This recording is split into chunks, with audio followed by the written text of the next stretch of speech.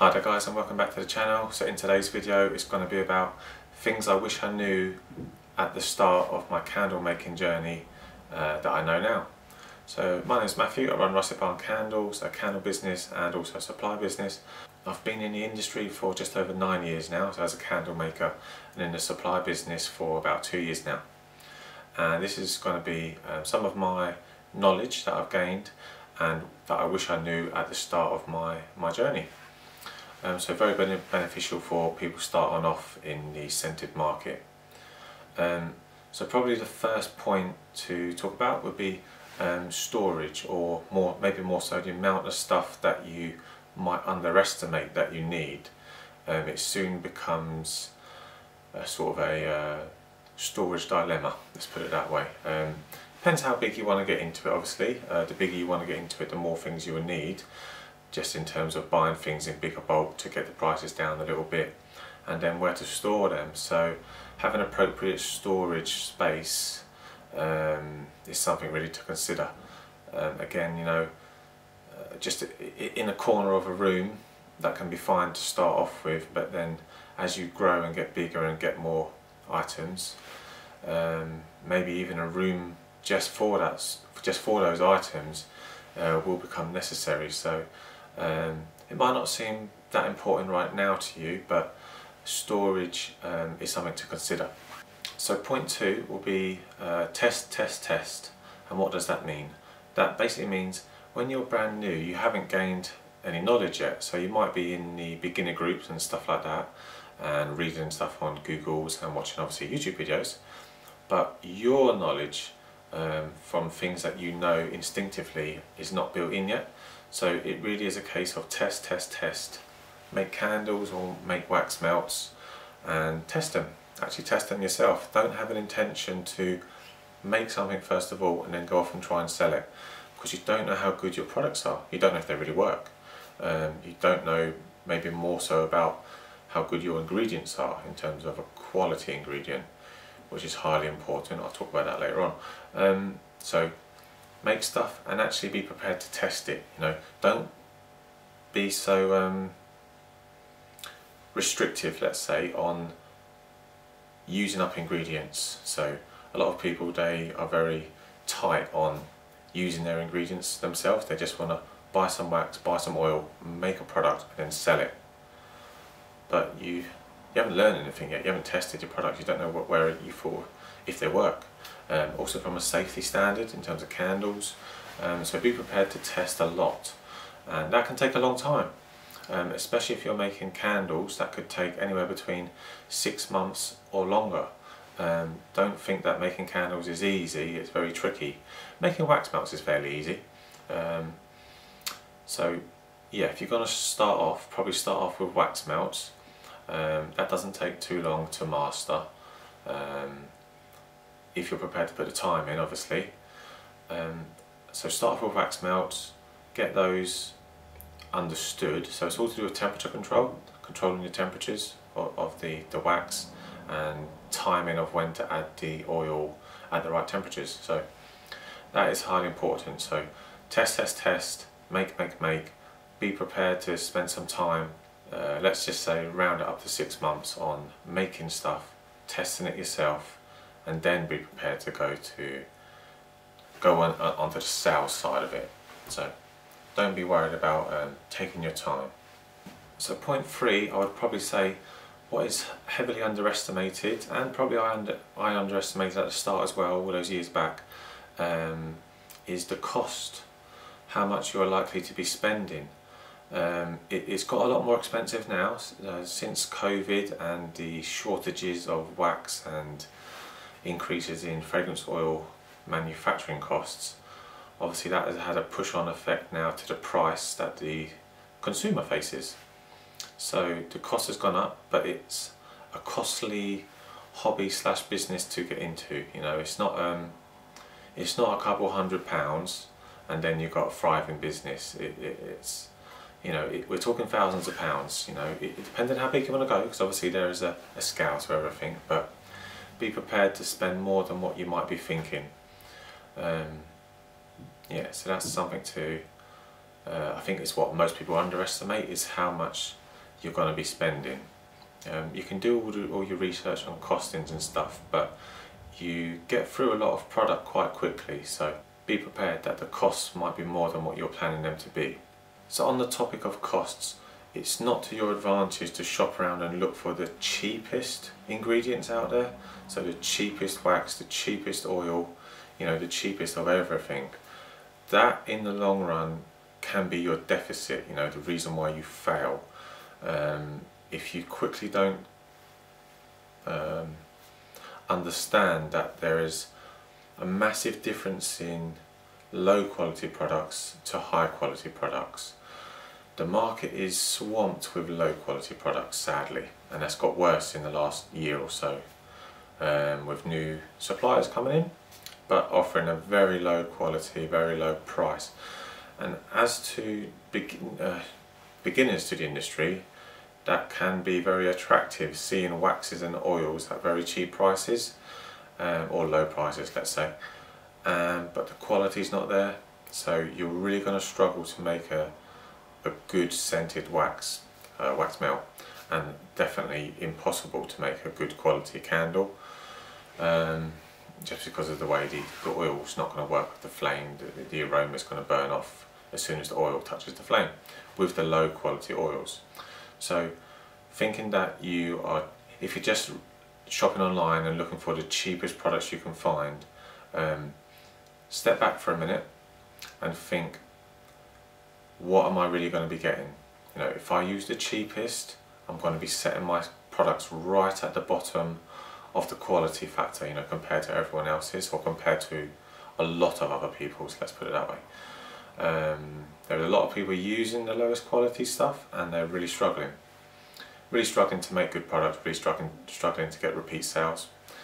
So when it comes to costings, um, just think twice about looking for the cheapest products you can find. So try and get a better quality. in the luxury industry, so this is a, uh, a luxury product that people don't have to buy, that they choose to buy. And when they choose to buy it, they're expecting a high quality uh, product, whether it be wax melt or candle. So when if you're going to be in this industry for the longer run and do well in it, try and think higher quality, higher price, not lower quality, lower price. You know, it's. Um, I'm going to do a separate video on that. So there's something really interesting to show you about the expectations. So there's two expectations. There's expectations of makers, so the manufacturers, like you guys watching this, and then there's the expectations of the consumer, so people buying your products, and it's very interesting to show you, I'll demonstrate it in, in, um, in the next video, of how they differ, or can differ a lot if you really get it wrong. Uh, that, that'll be an interesting video, so keep tuned for that one. I'll probably make that one my next video because it won't be that long to make that one. Um, and that will, that will help, I think, give a better um, representation or understanding of how I'm trying to get across the costings because it can come across a little bit misunderstood that someone's telling you to spend more you know that can always be a little bit like okay sort of thing you know as a as a person looking to spend money um, especially as I as I own a um, supplies business. So Rustic Barn Candles you know I own a supplies business. Um, we only stock high quality products for the very reason that all the products in my company I use. So it's sort of like a dual factor there. I, I buy the, the stock or have it manufactured for me to my specifications because I'm using it and then now the sub business that's come about from that is the supplies business you know I offer it to you guys if you wish to buy it but I wouldn't stock it if I wouldn't use it so put it that way you know I've been in business for nine years now so um, hopefully that sort of like helps to highlight good quality products is the way to go. It's talking a little bit too long on this topic now, so we'll move on to the next one. Right, so the next one's a funny one. Um, obviously these are just my opinions and things for you to take into account and um, gain a little bit of knowledge from and then go off and gain your own experience from doing your own research. So the next one to talk about is uh, beginner groups. So they are brilliant. I, own and run probably I think it's the largest beginner group in the UK now. So I'm based in the UK and I own the Wax Melts and Candles Helpful Making Group UK. Um, I think we are the biggest now. It depends what time you're watching this video, but yeah, near enough the biggest, if not the biggest already. Um, and to take them with a pinch of salt. So this might seem a little bit uh, contradictive, but try not to spend too long in beginner groups. At the very start, they're brilliant. Okay, you come in there, you learn, you get advice from other people. Now remember, they are beginner groups containing a lot of beginners. Some people are very chatty in nature, which is great. They, you know, going to answer your questions. Now you just got to remember, am I getting good advice from these people? A lot of the time will be yes, you really are getting good advice. Sometimes you're going to get bad advice. Now, as a beginner, you're not going to understand what's good advice and bad advice. That's why I say don't spend too long in beginner groups, you know. Start off there, gain some knowledge, do your testing yourself, test, test, test, learn from your mistakes. There's nothing wrong with making mistakes. But don't rely on getting answers always from beginner groups because it goes back to the fact that, let's say you've been testing and you've been testing really well for a few months then you come across a problem and you go to the beginner groups and you seek an answer but you get an answer that's bad a bad answer. You go off and play about with what they've said and you struggle even more and you get to go you, you, you progress nowhere. Then you go back to the beginners group. You write the same question again you get a different answer this time. First of all you might think I wasn't told that the first time but you go off and try that now you might get stuck in that sort of cycle with bad advice. Not always, hopefully you get the right advice first of all, but this is a point to remember.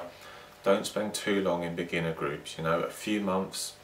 It's not going to take that long to, to gain, gain up the knowledge and then go off and progress yourself. You know, do other, find other avenues of research. YouTube, there's some amazing YouTube makers out there being um, giving very helpful content now be careful with YouTube, there's a lot of YouTubers out there being YouTubers, meaning that they make their living from YouTube, they've got to make videos you know every few days, that's the way they make their living. Now the value in their videos can be very very small if non-existent, they're just talking about nothing, hopefully this video is not coming across that way.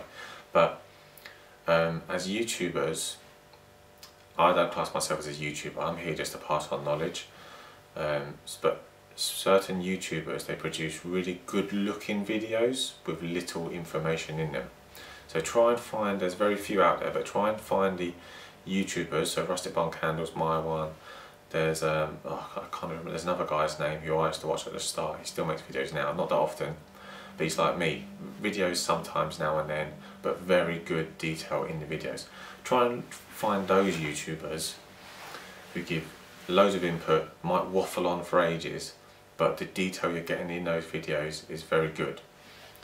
Um, yeah, so take YouTubers with a pinch of salt, but um, yeah, you want informative information is what I'm trying to say. So the last point I'm going to talk about is where do you start in this industry? So that's probably a great place whoever's watching this video to learn from, to, you know, to have this question answered let's say the main two products is wax melts and candles.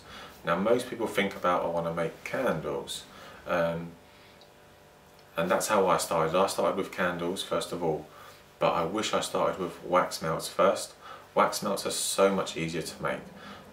they've got um, very few problems, very few things that can go wrong. I'm going to quickly say if you get the wrong ingredients, you know the cheapest stuff that I was talking about earlier on, many things can go wrong. But if you buy good quality ingredients, so rustic barn candles for example, wax and fragrance oils, brilliant, you're going to have very minimal issues, if not none, if you follow my videos. Um, but if you get the wrong ingredients, loads of things can go wrong. Very poor scent throw, wax with huge sinkholes in them, uh, ugly looking wax when it when it's dried, you know, the customer opens up, it looks disgusting. So these are the problems that you can face with wrong ingredients. However, but with the two, wax melts or candles, buying the right ingredients, start off with wax melts, do those for a few months or however long you want, and then, then move on to candles. Candles, there's so much more to understand and learn about. Um, wax, again there's loads of wax out there, many bad waxes and there's some good waxes. Try and, you know, again, look for the better quality waxes. Um, but there's way more complicated, compl compl complications with candles. Um, there's loads of different wicks, wick materials, wick types, wick sizes. So you have to match up the correct wick material, correct wick size, that's not the length but the thickness, to your container. So your container being the, the width of your container, not the length, because obviously your wick will burn down the full length. So you need to match up the size and material to your, well sorry, you need to match up the size to your width of container and the material to your wax that you're going to be putting in the container, okay? Different material wicks won't work in different waxes and also have different, have problems with different fragrance oils. Um, ah, sorry, this is this will be the final point, this will be the one we end on. This is the most important one, I should have said it probably at the start. So hopefully whoever's watched to the end, you're getting the most important point now. Fragrance oils is the number one product, ingredient rather, that goes into your scented products, whether it be wax melts or candles. Again, there's so many cheap, uh, I keep using the word cheap, but I, I prefer the word low quality. There's so many low quality fragrance oil suppliers out there now that you are going to face huge problems in searching for the uh, fragrance oils that give a strong scent throw. I do that with the word scent throw because that's a marketing word that's been put in a good few years ago from the wax companies, you know, throwing out the scent. There, there's no such thing as scent throw. It's scent throw comes from the wax companies where they promote their wax waxes by saying, oh, this particular type of wax has a great scent throw it's rubbish, right? A wax, all, all that a wax does, it absorbs the oils and then releases the oil when it's melted. There's no such... Scent throw is a marketing term, okay? So the oil, the fragrance oil, is the number one ingredient that you're going to use in, in your scented products. Um, you want to find the best quality fragrance oil you can get your hands on. There's four someone taking this seriously to grow a serious business and make a living from it, then don't look for the cheapest fragrance oils on the market. You'll be wasting your time, right? Save your money, and for the price difference, it's minimal really. You want to use the best fragrance oils in terms of quality you can find, and they're not going to be the cheapest ones. Better quality costs a bit more. Um, Rustic Barn candles, again, all my oils I've had made for me so many years ago I used to import all my oils from abroad because the ones in the UK weren't good enough no offence to any UK makers here then obviously Brexit came about and that, that then caused problems for me to get my oils imported the costs were phenomenal the increase in costs that I had to find a UK manufacturer to get them made for me it took a long long time to get a equally matching fragrance oil that I was using from abroad made in the UK. We've now done that um, with a UK manufacturer obviously, so they're made in the UK now and the quality is, is exceptional. Um, I find it a bit difficult sometimes talking about my own products because it comes across quite marketing, but as some of my customers, or a lot of my customers do say, the fragrance oils from Rustic Barn Candles are probably the best fragrance oils you can buy for quality on the market in the UK right now. So there's no, if you're going to start off in this industry, why not buy the oils from Rustic Barn Candles? I know that comes across quite markety and pushy towards my company, but if you're starting off, first of all, try some oils from Rustic Barn Candles, then try some oils from somewhere else. Do your comparisons on Scentthrow, how, how well the oils from uh, Rustic Barn Candles is filling up the room and how well the other oils are filling the room. You will see the difference is quite unquestionable um, in quality. So back to the point of fragrance oils, there is a massive difference in quality from the low ones to the higher ones. You want to be looking for the best fragrance oils you can find because that is the ingredient that your customers smell. They don't smell the wax. So you're going to get a lot of people in the groups because they've learned from other beginners saying that you need to use a better quality wax. Well that might be true if you're using a terrible quality wax. But if you're just using the same fragrance oil, nothing's ever going to change. It doesn't really matter what wax you use. The fragrance oil is never going to get any better than what it is, you know. Poor quality fragrance oil is always going to be poor. Good quality fragrance oil is near enough always going to be good and it's always going to be a lot better than the poor quality fragrance oil. So, winding up this point, um, on quality of products there is a massive difference. Try and it's to your advantage to buy the better quality fragrance oils. I know you won't know initially what products are better than others until you sample them. So it's like a catch-22 you have to sample different ones and by that time you spent a lot of money. So that's another reason why it can get quite costly because you're searching around different suppliers. Rustic barn candles start off with rustic barn candles. You'll do really well from the start. And if you want to sample other stuff then do so but you won't be going wrong starting off with rustic barn candles. Then you can compare the other qualities out there. Um, yeah, so I, I don't want this video to come across pushy as, you know, go buy rustic barn candle stuff. That's not the way. I am here to try and give you good information. Um, I don't make many videos. I haven't got the time to. Um, so busy making candles and stuff like that, wax melts and um, being a problem solver. I think that's probably, this will be the very last point that we end on running a business, a, a proper business, um, is all about solving problems. You need to be able to, able to handle stress. Um, problems are going to come up every week, whether it be with customers, with orders, with suppliers, um, whatever it might be, it's going to be problematic. And it's your job as the business owner to solve these problems. Um, making the products is, is one, only one side of the business running the business is then a completely different side. I'll talk about that in another video because that's a huge topic in itself. But yeah, um, hopefully this video has been informative. Sorry to have waffled on a little bit, I've literally just thrown this video together. I was going to do a video about making candles, I've got an order for 100 candles going out to a, a shop I was going to do, it's only a small order but um, get those made up today. These are some unique size uh, candle glasses that I'm making specifically specifically for them. I don't normally stock these, but it might be something I bring in now because people are wanting slightly smaller candles to get the price down a little bit. Um, so I've just thrown this, this video together. I was going to do a making video, but I've abandoned that one out and I've just done this one. I hope you find a bit more informative and helpful um, for you guys to think about the things I've said. Um, yeah, sorry to waffle on, I'm probably waffling on now, so I'm going to wrap this video up. Um, I'm going to make that video that, that I said earlier on today about the expectations of makers and the expectations of customers in my next video. Might even get that one, that one made later today and put up in the next few days. Thanks for watching, please subscribe to the channel, I will see you in the next one. Bye bye.